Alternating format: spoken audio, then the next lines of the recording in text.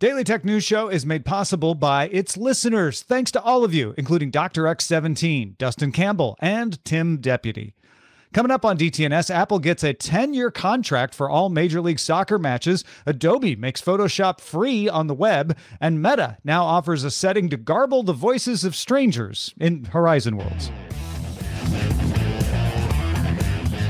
This is the Daily Tech News for Tuesday, June 14th, 2022, Flag Day in Los Angeles. I'm Tom Merritt.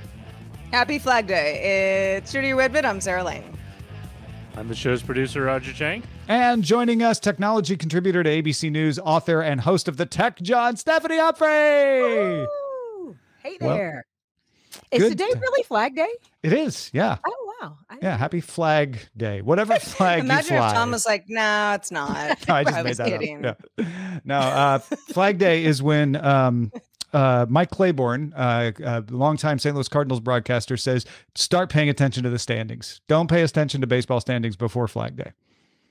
Wow, he uses Flag Day as a metric. That's his. Yeah, that's his. That's awesome. his metric. So, be like Mike Claiborne, I guess. Quick fun fact. Yeah. Um, I live in a community right outside of Philadelphia called Yeadon, Pennsylvania. And the creator of Arbor Day is from here. Really? Yeah. Hmm.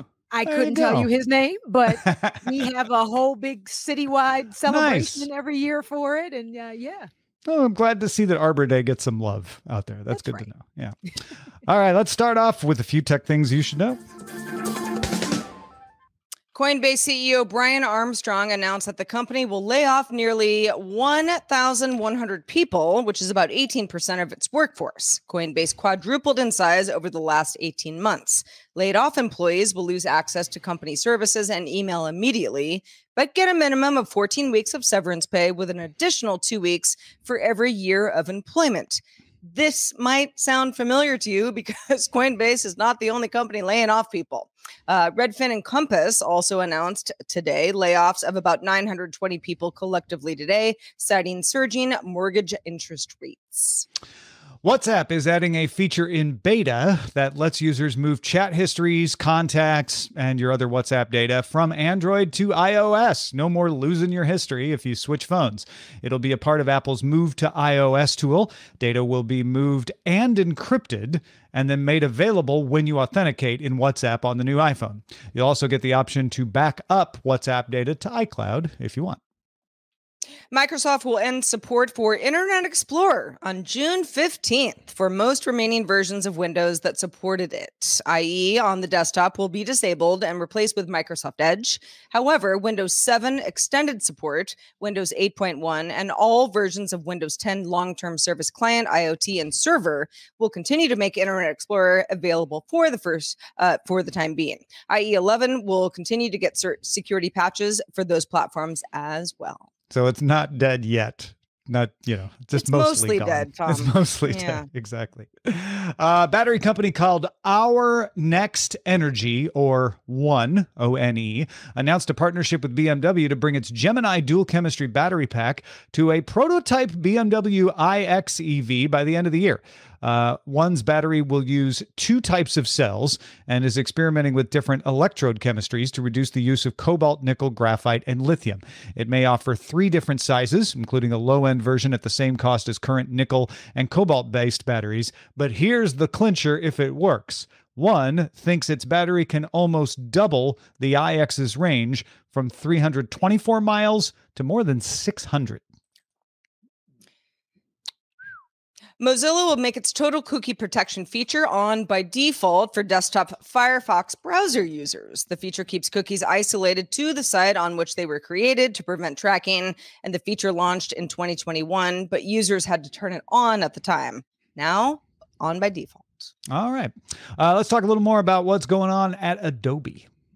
Yeah, cool stuff. Adobe made some some announcements. Uh, Photoshop is getting a neural filter that can clean up old photos or photos that I don't know just need a little need a little help removing scratches restoring color that sort of thing adobe lightroom which can adjust images will get the ability to handle video for the first time you can color grade footage and trim down the uh, beginning and end on lightroom if you use it Yeah, so the the Lightroom thing is available in one version of Lightroom, but it's even more simplistic than this. So that's kind of nice. Uh, if you're a photographer who has a video clip, it's really not going to be useful for long uh, versions of video. But that neural filter, that's cool uh, for for you know t- taking old photos that you Roger was was telling us before the show like you could do all of that stuff in Photoshop but what's cool about this mm-hmm. is it's mm-hmm. one button you can just click it yeah I mean I'm a I I use Photoshop pretty regularly I you know have certain things that I have to use it for but I'm not great at it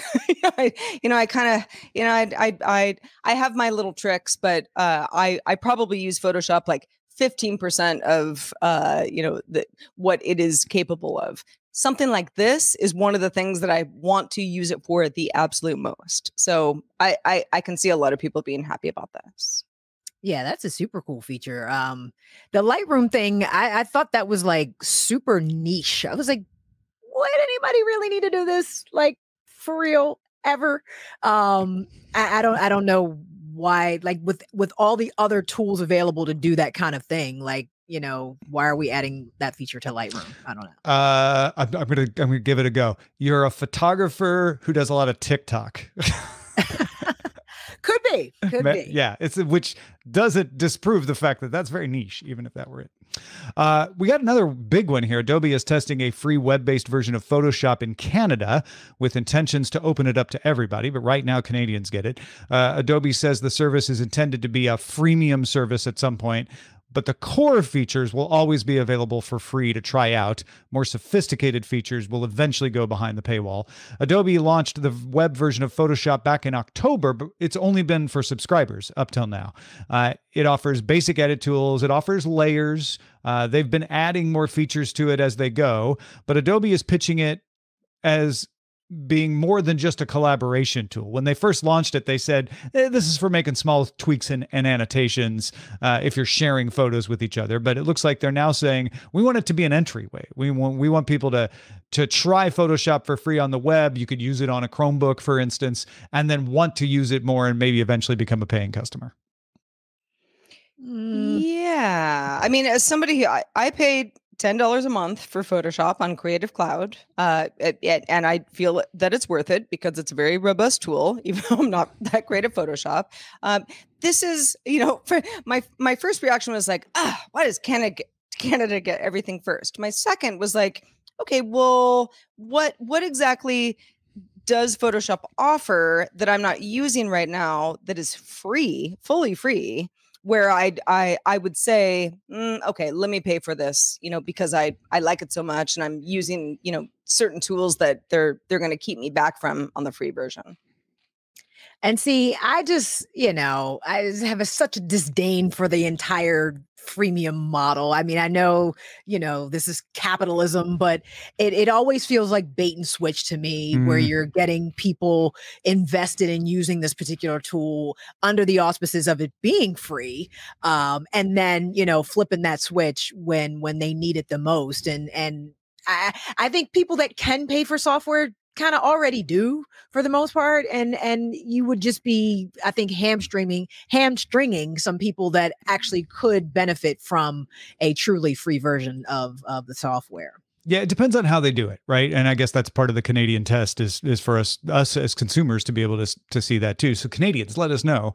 Uh, I think if it works like a free trial where it's like this is how it works, if you like it and you suddenly are like, "Oh, I want to get more advanced," then paying for it. That seems fair to me. Like it's it's yeah. free to free to use basically but if you're becoming an advanced user then you know go ahead and, and kick us a few bucks. If it's more like you're talking about stephanie where it's like oh you could use it for a you know for a couple of things but you won't be able to finish them because you're right. missing an essential thing then yeah that's that's not cool. I don't like that either. And as much as you know that whole suite cost as as is it's just like dude like what are you doing here? How much is this even going to cost? Like why even bother? Just mm let this be the one altruistic thing you do, Adobe.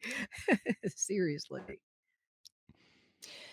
Well, in entertainment news, if you like soccer, Apple and Major League Soccer, or MLS, announced a 10 year broadcasting deal that makes the Apple TV app the home of all MLS matches. MLS Commissioner Don Garber said Tuesday that the league has the youngest, the most diverse, the most digitally native fans anywhere in the world. Some matches will be freely available to anybody with the Apple TV app, while the rest, including the MLS and Leagues Cup, will be part of Apple TV Plus, which is $4.99 per month. Yeah, there's some interesting things about this. It's a global deal. So they're getting the rights worldwide, uh, which is different than how sports leagues typically sell broadcast or streaming rights. They usually go country by country, region by region. Uh, MLS will also be allowed, and in fact, Apple is being encouraged, according to Eddy Eddy Cue. Apple encouraged this. MLS will strike deals to simulcast matches on linear TV. Uh, my guess is they'll probably do this in local markets to say, oh, your local regional sports network or maybe your local broadcast channel will be able to show a match even if it is on Apple TV. So there won't be blackouts on this uh, for again for select matches. Uh, Apple's Eddy Cue also said the deal is a huge opportunity for both of us because it's a partnership. It's not a rights deal. I don't know. Sounds like a rights deal to me, but yeah, sounds exactly like a rights deal. Exactly right. I'm like, what's the definition of a rights deal? Yeah. Um, I, this is interesting. When when I when I read this, the the first thing I thought about was that that whole thing that um Saudi Arabia is doing with some of the professional golfers here in the United States that mm. had to leave mm. the PGA to play in that that live tournament. I don't know if it's live or LIV or mm-hmm. those are Roman numerals. Um, but it, it kind of reminded me of that and and the idea that you know these major sports organizations are are kind of you know up to the highest bidder basically at this point and and and I guess there's nothing wrong with that but it just I don't know it it, it just made me question a little bit the the uh, motivations uh, from the MLS I know why Apple would want this to happen but um, you know it's like now people won't be able to see some of the matches and it, it kind of you know ruins that experience for those folks. Well but why won't they be able to see the matches? Well the ones that get behind the Apple T the Apple TV Plus uh, oh, uh, I see what you're saying. Yeah. Yeah. Like they're, they're, they're, they'll right. be limited in some way. Like in, there, there will be a lot of free ones, but not all of them will be free. Some of them will yeah. be $5 a month. But unlike how that, sports viewing has gone up until this day, I was going to uh, say, I don't think that's that much. People. That's, I don't know that that's that much different than what we get now, where you have to pay a cable subscription that sometimes is a lot more in order to get just a limited number. This is you're paying five dollars a month for Apple TV Plus, which gives you all of Apple TV Plus and gives you access to the MLS stuff. And they're not blacking out local broadcast, so it's possible you might right. get some some local broadcast mm-hmm. available without even having to have Apple TV. I mean, I get what you're saying, Stephanie, but I, yeah. I I feel like compared to where we are now, it's still probably an improvement. Maybe I wonder about how this plays out everywhere else around the world where mm. soccer is way more popular you know and and what type of access do europeans and and you know everybody else mm-hmm. have to the games in general and and will they be impacted i i, I don't supposedly know supposedly it's five dollars a month wherever you yeah. live in the world if you can get apple tv you can get it um, no, I mean, like, what what's their status now? Like, how oh how yeah, much I, access do they have to the games now? For our for our this is our league, the U.S. league. They probably have to pay a lot. They probably have yeah. to pay some specialty provider. So okay.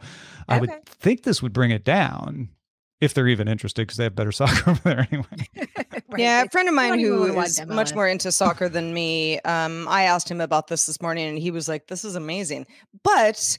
Uh, this is also something that he doesn't have to discover because he already has an Apple TV. Mm-hmm. He's familiar with Apple Apple TV Plus. I, you know, if you care, if you care about a, a, sport enough to, you know, figure it out, you're going to figure it out. You're going to figure but, it out. Uh, yeah. But you know, it's kind of similar to what uh, the NFL did with Prime. Hmm. Yeah, where they yeah. Uh, where they did they did the Thursday night games on Amazon yeah. Prime Video, and and now that's the only way you can get them is Amazon yeah. Prime Video. Um, yeah, I, I think one of the objections I'll expect to hear people say is like, well, I don't have an Apple device. And it's worth pointing out, if you don't already know this, that the Apple TV app is available on the web. It's on Roku, Fire TV, Google TV, Samsung, LG, Sony, yeah. Vizio, Panasonic, Hisense, PlayStation, Xbox. It's even available on cable boxes from Xfinity and Sky and Free and BTV. So it's available if you want to install it and you've got one of those devices. All right, U.S. and Food, Food and Drug Administration has cleared a company called Rune Labs uh, to offer software called Strive PD. This tracks the symptoms of Parkinson's disease. So it uses Apple's movement disorder API and an Apple Watch with the Apple Watch sensors to track things like tremors, which is one of the main symptoms of Parkinson's. And it also lets patients add symptom reports and medication usage on their own. Strive PD is meant to let clinicians track a patient's progress and monitor changes. So this is through your doctor. This is not like an app you download and, and pay a subscription for. It provides a better look than patient recall and be, can be used to fine tune medications. It will also help enroll patients in clinical trials uh, to develop new treatments and bring those to the market more quickly. Rune Labs is not the only company working on this sort of thing with the Apple Watch. Uh, the Verge notes a company called Cerebellia is also developing an app related to Parkinson's as well. But what perked my ears up about this is it's a service going to the doctors that treat this to help them rather than a service trying to get you to pay $5 a month to maybe come up with useful data that then they'll leak out on the internet anyway. So they're not doing that last thing, is what is what I'm pointing out. I think this is I think this is uh, this is good. I think this is significant. It's interesting.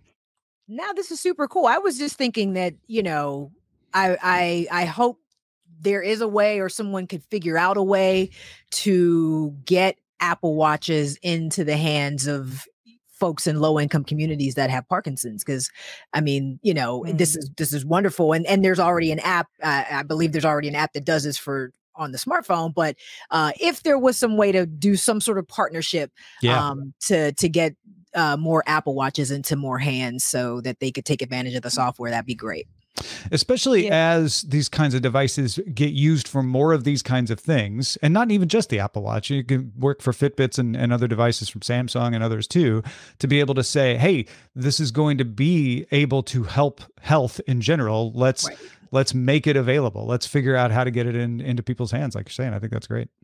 Yeah, sometimes it it kind of becomes a conversation of like, well, yeah, everybody with Parkinson's disease would love to have an Apple Watch, but you know, how many exactly. actually have them? Mm-hmm. So, yeah, I, I um, I've got you know, I, um, I, I have another friend story. A, a, friend of mine's mother has Parkinson's, and I I sent her this article this morning. and I said, "Does your mom know about this?" And she goes, "Oh yeah, yeah, she's on the list."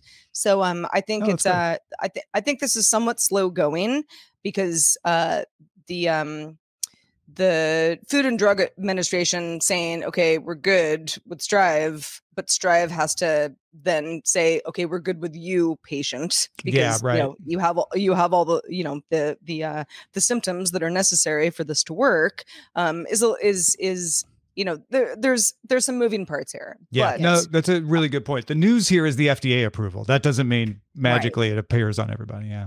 Right. Yeah.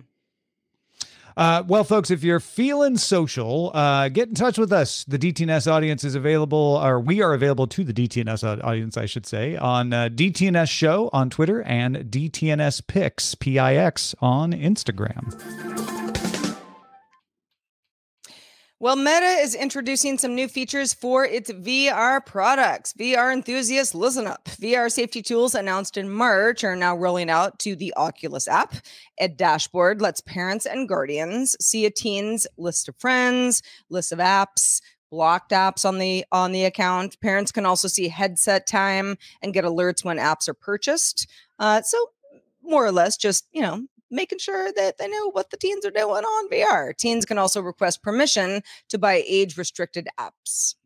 So before we get to the other uh, the other aspect here, which is that Horizon Worlds thing I teased at the top of the show, uh, this this feels unremarkable. Is there is there anything of note here? Stephanie, I know you follow this space pretty closely. Like it it just feels like kind of minimum expected stuff for it is controls. the bare minimum yeah. unfortunately but but when you hadn't done the bare minimum you know stepping up to that i guess feels like progress to folks it's better than um, nothing it's it's yeah. funny the um the part about the the parental controls have to be initiated through the teens account i think is still lagging behind what most of the other platforms do with the exception of Instagram they they were mentioned in this article as well. They just flipped it so that the parents can actually send the send a teen a request and say hey you have to you know you got to let me get access to your phone to get these parental uh, controls in place. So um, we'll see if they if they do something similar to that for for the Oculus but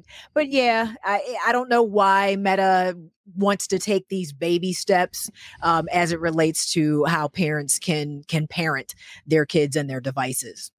All right, let's talk I about mean, the other the other. Oh, go ahead, Sarah. Sorry. Well, I was just I was just gonna say it's probably because Oculus has become so popular, especially with young people, that n- the company was like, "Huh, we didn't really think about that. They never do. You know, we should probably we should probably make sure that uh, you know teens are a little bit safer than they have been in the past. They never do. All right. Uh, Meta's Horizon Worlds VR chat app is launching in the UK, adding uh, that to Canada and the US, the US, and getting new options for voice chat. Right now, voice chat is on by default. Uh, that's not changing. You might be like, oh, yeah, they need to turn that off. No, it's still on by default uh, when you enter Horizon Worlds, but you're getting a new setting called voice mode over the next few weeks that will let you disable that. So you can say, I don't want to hear anybody talking to me unless they're my friend that I've approved. I don't want to hear them. Or even I think more interesting, you'll have an option called garble voices from strangers. Garble voices lets you know a person is talking by playing what uh, Meta describes as unintelligible friendly sounds. uh, we can all do our version of that later. Uh, and then if you want to hear what that person is saying, you can raise a hand to your avatar's ear to temporarily hear them without having to add them as a friend and then decide if you want to have a conversation, I guess. Uh, when garble mode is on, an icon will appear above your avatar of an ear crossed out to indicate that you're unable to hear people. I assume that help, happens if you've disabled it altogether as well. But uh, I don't know. Garble, garble, garble, garble, garble, garble, garble. Well, here's what, and Stephanie, I don't, I don't know how much VR you, you know, you're, you're, you're doing on a daily basis. Um, I play a lot of VR exercise games. I'm mm. not in Horizon Worlds, but I know what it is, and I know it's a, you know, it's a way for people to meet friends all over the world, just like any other place on the internet, right? It's just a VR version of that. The, the unintelligible friendly sounds from somebody who might not actually be friendly towards me is, is kind of, uh, it's it's an interesting choice. It is. It is. I, I am like, what what is that even? Like I I just, you know, the the idea that and even the idea that you would raise your hand to speak, I feel like, you know, the the realist in me, Tom, um am, am already thinking through ways to abuse this this uh-huh. feature um, because you know you could have two people sort of tag teaming someone you know you raise the hand to listen to one thinking that they're going to say something you know normal when this other person now you know starts shouting and yelling and screaming at you. That that was the thing. I was like you know you should be able to do that individually. If you're going to be able to do it at all um, you should be able to do it individually with the people that you're not friends with. Like it seems like if you have the garble on, everybody you're not friends with is garbled. So I, I think you should be able to kind of toggle that on without having to raise the hand, just because there may be someone you want to speak to,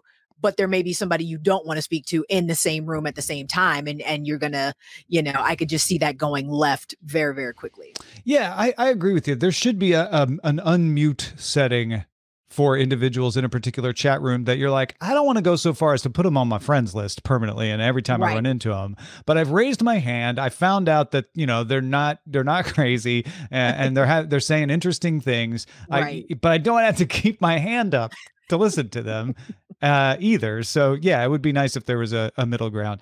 It's a it's a it's an interesting way to solve a problem of of because I, I, assume if you turn it off entirely, it's like you just don't know they're talking, right? You you wouldn't have any indication. So this is a way to let you know, like, hey, people are saying something to you. You can decide if you want to take the risk of listening or not. And that seems I like mean, a lot distracting of, uh, too. Oh, go ahead. You're just hearing garbled. But it's friendly. but it's friendly garble. There you go. I mean, a lot of this, when I, you know, at first I was like, what are they doing? And then I was like, you know, this isn't unlike what social networks have been trying to solve for many, many years now. Mhm. Is okay, you know, is somebody my friend? Great. You know, we talk back and forth. Maybe I don't want to add them as a friend, but they can DM me. Maybe they can't do either of those things. Um, and that is just the VR world we're in now. Yeah. I'm imagining it like Simlish. Some kind of, you know, these forwards on a little bit of thing. Yeah. but very friendly. I'm gonna have to try this out. But friendly, friendly garbling. Yeah, y'all gonna make me Uh, put my VR headset on later on just to I hear know. some friendly garbling. you know, same, same. now I have to see. I have to see how it works. Everybody send me We're gonna start unfriending each other just so we can hear garbling. unintelligible stuff. Send it to me.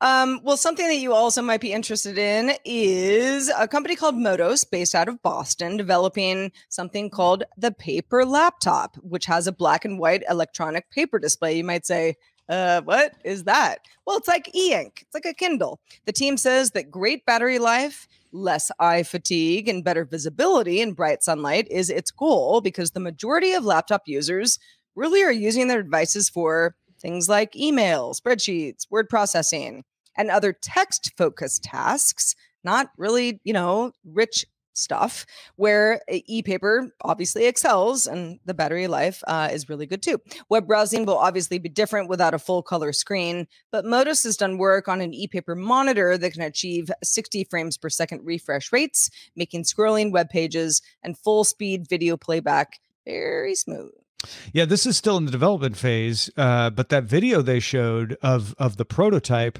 was pretty impressive to me. If you're like, like they played video, it they're like, well, we're working on dithering and grayscale right now, uh, so it doesn't look great, but it worked. Like the the it the the refresh rate was enough that that it actually worked. And the other thing I thought was was fancy about it is uh, it it could just scroll and and do forms and pretty much all the things I use my Chromebook for, it could do, and it's going to have like a month long battery life because it's an e-ink screen. I'm I signed up for the Yeah. survey. I was like, all right, I want to find out more about this. I'm into it. Um, I'd be curious what the specs of the laptop are going to be. Um, did they say that anywhere in there? No, because they're still just developing the yeah, display that- technology. yeah. That's going to make a difference. Mhm. Um, and it's like, you know, is this different than a reader with a keyboard attached to it? Um, like, could you just could you fashion this out of a Kindle like currently? no, because the refresh rate is abysmal on a yeah. Kindle. That that's their secret sauce, right? Okay, well, it, it could be a, a thing. Um, I was I was uh, I was pleasant. I was pleased to hear them talk about the idea of um, this being a way to distract you because grayscaling your phone is is Mhm. largely agreed a- as a way to Mhm. not use your phone so much. So I, I like that they put that in there because I think that's probably going to be um, an actual significant selling feature for this for this thing. Yeah, yeah, yeah, yeah. If you don't Yeah, need think- it to play video games, you know, this this could be the thing. Uh, Well, I think a lot of us, myself included, you know, when when I first read the story this morning, I was like, "What? No, a laptop that's doesn't have color." But how many how many things do I really need that for? Sure, uh, rich video, definitely so. Um, even though video is working on the Modos laptop, uh, the paper laptop, but but most things, most of my day to day things are, you know, task oriented work stuff. Yeah. Um, and I think that, yeah, I, especially if you're, well, I don't, I don't know who's doing a lot of traveling these days, but as as the world sort of comes back to life, I think that you know this starts to be really attractive uh, to folks who are you know on the go, and yeah, the battery life in particular is a big selling point. All right, let's check out the mailbag. Let's do it. This one comes from Josh. Josh says, Thought it was interesting. He's talking about yesterday's show that Rich mentioned that authors could put notation on each word so that an audiobook AI could read the words and then place emphasis where the author desired. Reminded me of any kid who's had to learn to chant from the Torah and the notations on each word that teach you the appropriate musical notes. It's called trope, a 4,000 year old solution to a modern problem. Hey, so uh, sometimes the old ways are best, right, Yep. Josh? Yeah. You know? There is nothing new under the sun. That's great. Uh, and then Bodie, uh, host of the Kilowatt uh, podcast, uh, wrote in and said, Hey, if you're interested in an affordable electric vehicle with solar panels, because we were talking about uh, the big expensive one uh, yesterday that that's coming from, who was it? Um, oh man, I'm, I'm blanking on the name suddenly, but but yeah, we were talking about the the big expensive one that, that's coming. That's like two hundred thousand euros. Uh, Bodie says how about the Aptera, A P T E R A? It's a two seater, three wheeled vehicle with solar panels. It's not quite an apples to apples comparison. In some states, it's classified as a motorcycle. The Lightyear, thank you, Bodie. The Lightyear Zero is uh, got a, a big price difference. The base model of the Aptera starts at $25,900 for 250 miles. The maxed out Aptera claims a range of 1,000 miles and with all the options, it would cost you $50,700, which is still a quarter of the price of the Lightyear Zero. Production of the Aptera should begin soon if it hasn't already. Is there a top speed on that thing? Because that thing looks pretty cool. Yeah, I mean it's a two seater, right? So you're you, this is not high capacity, but yeah, it looks like like the you know it at least can get uh, zero to sixty miles per hour in three and a half seconds. So right. yeah, that's decent. Well, thank you to Bodie. Thank you to Josh. And thank you to everybody who writes in with questions, comments, feedback, all the things. Feedback at dailytechnewsshow.com is where to direct your email our way. Thank you in advance. We love your feedback. Also, thanks to Stephanie Humphrey for being with us today. Stephanie, where can people keep up with what you've been up to? They can follow me all around the web at Tech Life Steph. You can check out my website at till death you tweet.com. And of course, please listen and download the Tech Jawn at the Tech Jawn, J A W N dot com. Yeah. If for no other reason to get Rob Dunwood's secret basketball name. That's right. He has a secret basketball name. Oh yeah, yeah. He does. Oh he does. gosh, now I, am clearly behind on my episodes. no, the Tech awesome, and so are you, Stephanie. Thank you for being with us. Also, thanks to our brand new boss, whose name is Jason. Yay! Jason has started backing us on Patreon. Thank you, Jason. Jason, you're the best. You could You be the really next are. Jason. Just back us at patreon.com slash DTNS.